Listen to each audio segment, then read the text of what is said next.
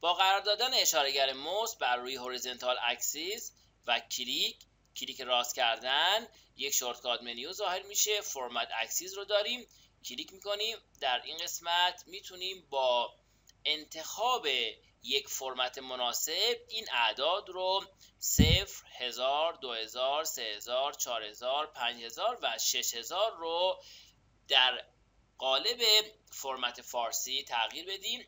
در این قسمت کلیک می‌کنیم General رو انتخاب می‌کنیم ابتدا یک bracket بدین حالت ایجاد می‌کنیم علامت دالر رو بدین حالت یک خط تیره 309 رو تایپ می‌کنیم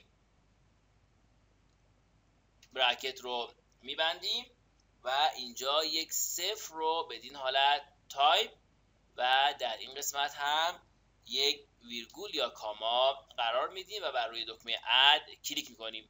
ملاحظه می‌کنید که اینجا برای ما فونت از حالت انگلیسی به فارسی تغییر پیدا کرد. در نوار Ribbon سربرگ Home اینجا می‌تونیم رنگ فونت رو به رنگ رد یا قرمز تغییر بدیم.